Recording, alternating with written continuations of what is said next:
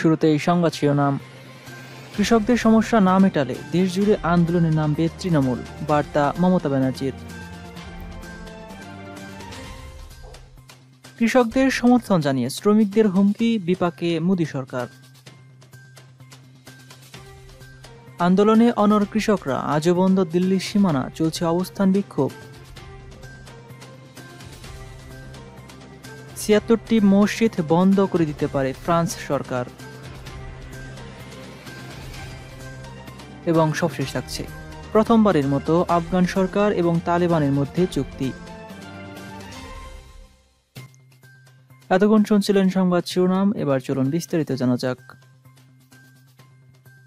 কৃষক বিক্ষোভ নিয়ে জট ক্রমে বাড়ছে। বিক্ষোভ নিয়ে উদ্বেগ প্রকাশ করে বৃহস্পতিবার টুইট করে দেশ জুড়ে আন্দোলনে নামার ডাক দিলেন পশ্চিমবঙ্গের মুখ্যমন্ত্রী মমতা বন্দ্যোপাধ্যায়। মমতার এই ঘোষণার কয়েক ঘণ্টা মুহূর্তের মধ্যেই ছড়িয়ে পড়ে এই পুষ্টি।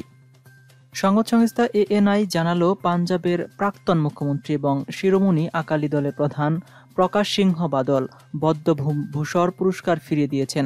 কেন্দ্রীয় সরকার কৃষকদের যেভাবে বঞ্চিত করেছে, তারই প্রতিবাদে বাদল এই সিদ্ধান্ত বলে জানিয়েছে। বৃহস্পতিবার মমতার টুইটে লেখেন, কৃষকদের জীবন জীবিকা নিয়ে মারাত্মক উদ্বেগ রয়েছে। ভারত সরকারের উচিত নয়া কৃষি বিল প্রত্যাহার করে দেয়া।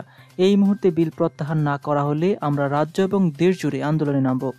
আমরা প্রথম থেকেই এই কৃষক বিরোধী বিলের বিরোধিতা করে আসছি। বৃহস্পতিবার সকালে কৃষক বিক্ষোভ নিয়ে পাঞ্জাবের মুখ্যমন্ত্রী ক্যাপ্টেন আমরিন্দর সিং দেখান, দেখা করেন কেন্দ্রীয় স্বরাষ্ট্রমন্ত্রী অমিত শাহের সঙ্গে। অমিতের বাসভবনে এই আলোচনার পর অমরিন্দন সিংহ সাংবাদিকদের বলেন, কেন্দ্র এবং কৃষকদের মধ্যে আলোচনা চলছে। আমি এখানে কোনো সমাধান করতে আসিনি। আলোচনায় আমার অবস্থান স্পষ্ট করেছে। স্বরাষ্ট্রমন্ত্রীকে বলেছি দ্রুত সমস্যার সমাধান করতে, কারণ আন্দোলনের ফলে আমার রাজ্যের অর্থনীতিতে প্রভাব পড়ছে। দেশে নিরাপত্তার প্রভাব পড়ছে। ওদিকে দিল্লির বিজ্ঞান ভবনে ফের এক দফার আলোচনার জন্য পৌঁছে গিয়েছে বত্রিশটি সংগঠনের কৃষক নেতারা। সেখানে বৃহস্পতিবার আলোচনায় বসবেন তারা। এর আগে কেন্দ্রীয় সরকারের পক্ষ থেকে কমিটি তৈরি করার প্রস্তাব ফিরিয়ে দিয়েছেন কৃষকরা। তাদের দাবি সম্পূর্ণরূপে না মানা পর্যন্ত আন্দোলন চালিয়ে যাবেন বলেও জানিয়েছেন। সেই কারণে বৃহস্পতিবার থেকে নতুন করে নিরাপত্তার কড়াকড়ি বাড়িয়েছে দিল্লি পুলিশ। বিক্ষোভ রুখতে মোতায়েন করা হয়েছে পঁয়তাল্লিশ কোম্পানি আধা সেনা বুধবার থেকেই নতুন করে কৃষক বিক্ষোভের পাশে দাঁড়াতে শুরু করে পাঞ্জাব ক্রীড়াবিদ থেকে শুরু করে চলচ্চিত্র তারকারা।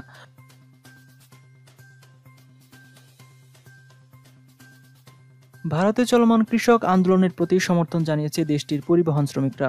বুধবার অল ইন্ডিয়া মোটর ট্রান্সপোর্ট কংগ্রেসের পক্ষ থেকে হুমকি দেওয়া হয়েছে। যদি সরকার কৃষকদের দাবি মেনে না নেয়, তাহলে প্রথমে উত্তর ভারত এবং পরবর্তীকালে পুরো দেশ জুড়ে প্রয়োজনীয় পণ্য চলাচল বন্ধ করে দেওয়া হবে। সংগঠনটির সভাপতি কুলতারাং সিং আওতাল জানিয়েছেন, সেপ্টেম্বরের তিনটি কৃষি আইন পাশ হয়েছে। সেগুলো নিয়ে কৃষকদের সঙ্গে কোনো সমাধান না হলে তারা রাস্তায় নামবেন। এই সংগঠন প্রায় এক কোটি ট্রাক শ্রমিকদের প্রতিনিধিত্ব করে। এই পরিস্থিতিতে বিপাকে পড়েছে মোদী সরকার। আন্দোলনরত ভারতীয় কৃষকরা কার্যত দিল্লি ঘিরে ফেলেছে। পাঞ্জাব, হরিয়ানা থেকে আরও কৃষক এই অবরোধে যোগ দিতে ইতিমধ্যেই রওনা দিয়েছে। দিল্লি কার্যত বিচ্ছিন্ন হয়ে পড়ার অবস্থায় রয়েছে। এমন পরিস্থিতিতে মঙ্গলবার ভারত সরকার তিন মন্ত্রী কৃষকদের একটি প্রতিনিধি দলের সঙ্গে আলোচনায় বসেছে। তবে সেই আলোচনাও ব্যর্থ হয়েছে। কৃষকদের দাবি, সরকারকে নতুন কৃষি আইন আগে বাতিল করতে হবে। আর ন্যূনতম সংগ্রহ মূল্য নিয়ে আইন করতে হবে যাতে বেসরকারিভাবে যারা কৃষকদের কাছ থেকে ফসল কেনেন, তারা এই আইন মানতে বাধ্য থাকেন। সরকার অবশ্য কোনো দাবি মানার ইঙ্গিত দেয়নি। সংগঠনটির সভাপতি কালতারাং সিং আওতাল বলেছেন, আটই ডিসেম্বর থেকে আমরা উত্তর ভারতের সব কার্যক্রম বন্ধ করে দিব।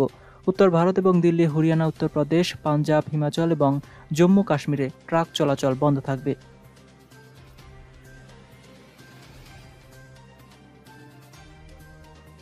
কেন্দ্রীয় মন্ত্রীদের সঙ্গে বৈঠকের পরের দিনই ফের হমসিয়া ফিরলেন চাষিরা। বুধবার সাত সকালেই উত্তরপ্রদেশ দিল্লি সীমানায় ব্যারিকেড সরিয়ে এগুনের চেষ্টা করেন আন্দোলনকারী কৃষকরা। পাশাপাশি দিল্লির প্রায় সব সীমানায় ধর্নায় বসে রয়েছেন আন্দোলনকারীরা। ফলে রাজধানীতে ঢোকা বেরোনির একাধিক রাস্তা কার্যত অবরুদ্ধ।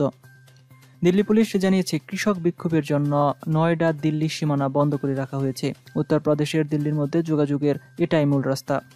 এর ফলে ওই রাস্তায় যানবাহন চলাচল পুরোপুরি বন্ধ। যাত্রীদের এই দিল্লি রুট এড়িয়ে ডিএনডি এবং কালিন্দি কুঞ্জ রুট ধরে যাতায়াতের পরামর্শ দিয়েছে দিল্লি পুলিশ। দিল্লি হরিয়ানার সিঙ্গু সীমানার পরিস্থিতি একই রয়েছে। সেখানে প্রতিবাদ বিক্ষোভ চালিয়ে যাচ্ছে কৃষকরা। বন্ধ যান চলাচল। এছাড়া টিকরি, জারুজা, টিকরারা সীমান্তেও কৃষকের অবস্থান আন্দোলনের জেরে বন্ধ রাস্তা করে দিয়েছে দিল্লি পুলিশ। বাসুরা সীমানায়ও শুধুমাত্র বাইক চলাচলের অনুমতি রয়েছে। চিল্লা সীমানায় নয়ডার লিঙ্ক রোডের উপর সৌগতম বৌদ্ধ ধারের কাছে কৃষকদের আন্দোলনে বন্ধ যান চলাচল। এছাড়া পাঞ্জাবি আন্দোলনের জেরে বেশ কিছু ট্রেন বাতিল বা যাত্রা সংক্ষিপ্ত করেছে।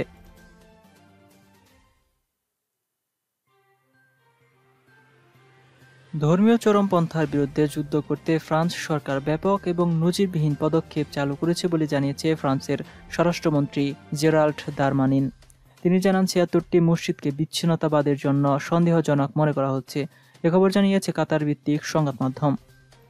দারমানিন বৃহস্পতিবার আর এল ডি রেডিওকে দেয়া তার সাক্ষাৎকারটি টুইট করে লেখেন, সামনের দিনগুলোতে ওই মসজিদ বা প্রার্থনালয়গুলো বন্ধ করে দেওয়া হবে।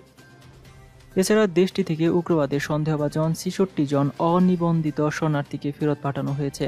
গত কয়েক সপ্তাহের মধ্যে দেশটিতে আরও কয়েকটি প্রাণঘাতী হামলার ঘটনা ঘটেছে। এসব হামলার জন্য ইসলামী উগ্রবাদকে দায়ী করেছে প্রেসিডেন্ট ইমানুয়েল ম্যাক্রো সরকার, আর তার মোকাবেলায়ও নানা পদক্ষেপ নেওয়া হচ্ছে। ইসলামের নবী মোহাম্মদ সাল্লাহ ইসলামকে নিয়ে কার্টুন প্রকাশের পর থেকেই উত্তপ্ত ফ্রান্স। মহানবীকে নিয়ে বিতর্কিত কার্টুন প্রকাশের জেরে স্কুল শিক্ষক স্যামুয়েল প্যাতিকে হত্যা করা হয়। এরপর দেশটিতে মুসলমানদের বিরুদ্ধে কঠোর ব্যবস্থা নেওয়া হয়। এর অংশ হিসেবে গত বিশে অক্টোবর প্যারিসের বাইরের মসজিদে সাময়িকভাবে বন্ধের নির্দেশ দেয় ফ্রান্স। এছাড়া ইতিমধ্যে দুটি সংগঠনও বন্ধ করে দিয়েছে ফ্রান্স সরকার। মুসলিম ধাতব্য বারাকা সিটি এবং সংখ্যালঘুদের উপর ঘৃণাবাদী অপরাধ পর্যবেক্ষণকারী নাগরিক অধিকার group collective against Islamophobia in France বন্ধ করে দেওয়া হয়েছে। এদের বিরুদ্ধে উগ্রবাদ সংশ্লিষ্টতার অভিযোগ রয়েছে বলে দাবি ফরাসি সরকারের।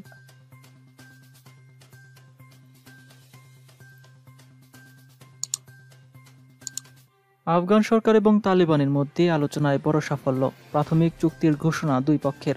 কাতারের দুহায় দীর্ঘদিন ধরে আলোচনা চলছে আফগান সরকারের প্রতিনিধি এবং তালেবান নেতাদের মধ্যে। এতদিন সেই আলোচনা মতবিরোধ, মতবিরোধের কারণে এগোচ্ছিল না। কিন্তু বুধবার যৌথ বিবৃতি দিয়ে সরকার এবং তালেবান জানিয়েছে, প্রাথমিক চুক্তি হয়েছে। ভবিষ্যতে আলোচনা কীভাবে এগোবে, যুদ্ধবিরতি নিয়ে কীভাবে আলোচনা হবে, তার ওই রূপরেখা তৈরি হয়েছে এই প্রাথমিক চুক্তিতে। গত উনিশ বছরের মধ্যে এই প্রথম সরকার এবং তালেবানের মধ্যে লিখিত চুক্তি হলো। আলোচনায় আফগান সরকারের প্রতিনিধি নাদের নাদেরি সংবাদ সংস্থা রয়টার্সকে বলেছে, আলোচনার পদ্ধতি এবং প্রস্তাবনা চূড়ান্ত হল।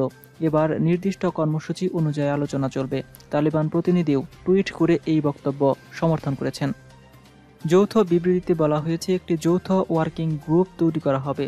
তারা শান্তি চুক্তির এজেন্ডা কি হবে তার খসড়া তৈরি করবে। আফগানিস্তানের প্রেসিডেন্ট মুখপাত্র সাদিক সিদ্দিকি টুইট করে জানিয়েছেন, প্রাথমিক চুক্তি হলো এবার মূল বিষয়গুলো নিয়ে আলোচনায় এগিয়ে নিয়ে যাওয়া হবে। এর মধ্যে আফগান মানুষের প্রধান দাবি যুদ্ধবিরতির প্রসঙ্গও। পাকিস্তানও এই চুক্তিকে স্বাগত জানিয়েছে। পাকিস্তানের পররাষ্ট্র মন্ত্রণালয় জানিয়েছে, এই চুক্তি প্রমাণ করে দিচ্ছে দুপক্ষই আলোচনার মাধ্যমে সমস্যা মিটিয়ে নিতে যাচ্ছে